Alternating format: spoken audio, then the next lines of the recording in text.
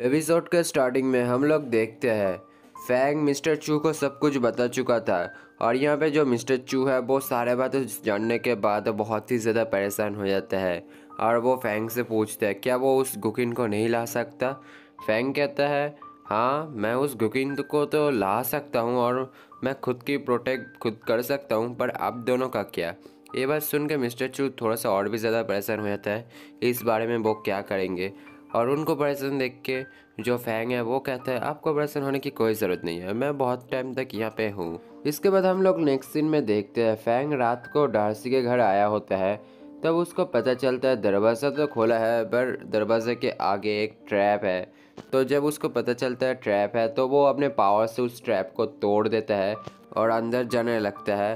और वहीं पे दूसरे साइड डार्सी वो अपने लास्ट फाइट को फैंग के साथ याद कर रहा था और वो सोच के वो उसको लगा कि फैंग के पास कोई डार्क फोर्स है, पर फैंग आके कहता है, नहीं, मेरे पास कोई डार्क फोर्स तो नहीं है, पर हाँ मैं एक ऐसे पर्सन से मिला हूँ जिसके पास डार्क फोर्स है। फैंग आगे इधर उधर की बातें ना करके डर्सी से कहता है, मिस्टर चू ने कहा है, तुम चाहो तो मनी बाद में भी दे सकते हो। जिस बात को सुन के डार्सी कहता है, मैं नहीं दूँगा। फैंग डार्सी से कहता तो फिर मुझे किसी भी चीज़ के लिए ब्लेम मत करना।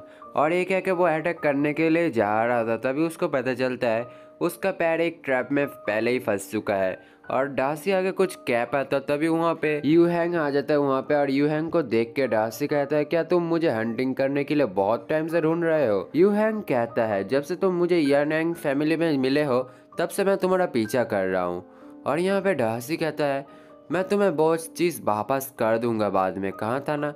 और अब यहाँ पे इन दोनों के बातों के बीच में फैंग आके कहता है माफ़ करना, मैं तुम्हारे बातों में नहीं आना चाहता, पर डासी क्या तुम मुझे बता सकते हो? कैसे तुम लोगों को लूट लेते हो? और इस बात को सुनकर डासी कहता है, मैं तुम्हें मिस्टर चू का जो भी पैसा है, वो सब कुछ दे दूँगा, पर तुम मुझे इसको हराने में मदद करो। फैंग कहता है क्या मैं तुमको बेवकूफ़ दिखता हूँ। तो ये सुनकर जो डासी है, वो फैंग के हाथ में एक जेट दे देता है और उस जेट को देखने के बाद फैंग डासी का हेल्प करने के लिए मान जाता है। और वहीं पे जो, और वहीं पे जो यू हैंग था, वो कहता है, तुम मेरे रास्ते में मत आओ, नहीं तो तुम मेरे एनिमी बन जाओगे। फैंग यू हैंग से कहता है, मुझे इन सबसे कुछ भी फ़र्क नहीं पड़ता, मैं बस अपना काम कर रहा हूँ। अब जो डासी है, वो गुकिन को लेके यू हैंग के ऊपर अटैक करना स्टार्ट कर देता है। ये देख के यू हैंग अपने पावर से उनके ऊपर अटैक करने के लिए तैयार हो जाता है और यू हैंग के पावर को देख के डासी फैंग को बता देता है। उसके इस पावर से वो किसी भी वुड को कंट्रोल कर सकता है और ये बात सुन के फैंग अपने हाथ में फायर पंच बना के अटैक कर देता है और उसकी इस अटैक को देख के यू हैंग कहता है, क्या डार्क फोर्स है तुम्हारे पास? और अब उसके इस डार्क फोर्स को देख के यू हैंग अपने पावर्स को बढ़ा के एक वाटर अटैक करता है। जो ढासी है वो फैंग को बचने के लिए कहता है, पर फैंग पकड़ा जाता है उस वाटर अटैक में। अब जो यू हैंग है, वो कहता है, क्या तुमको लगता नहीं फैंग? मैं बहुत ही ज़्यादा पावरफुल हूँ। फैंग डासी से कहता है, एक जगह पे खड़े मत रहो, कुछ करो। डासी कुकिन का यूज़ करके फैंग को बचाता है। अब वहीं पे जो यू हैंग है, वो अपनी पावर्स को बढ़ा के एक और पावरफुल अटैक करने लगता है और उसको अटैक करते हुए देख के डार्सी अपना म्यूज़िकल रिंग अटैक करता है कुकिन का यूज़ करके, और उसके अटैक को कुछ समय के लिए रोक के फैंग से यहाँ से निकलने के लिए कहता है। अब वो लोग वहाँ से निकलते, इससे पहले जो यू हैंग है वो आके कहता है, क्या तुम लोग यहाँ से भागने के बारे में सोच रहे हो? बेकार में कोशिश मत करो।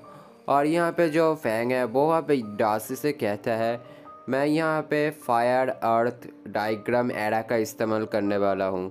डार्सी शौक होते हुए कहता है, क्या तुम क्या करने वाले हो? और अब यहाँ पे जो फैंग है, वो उस एरा को तैयार करने लगता है। और उसको इस एरा तैयार करते हुए देख के यू हैंग बहुत ही ज़्यादा शौक होता है। और यहीं पे जो एपिसोड है, वो ख़त्म हो जाता है।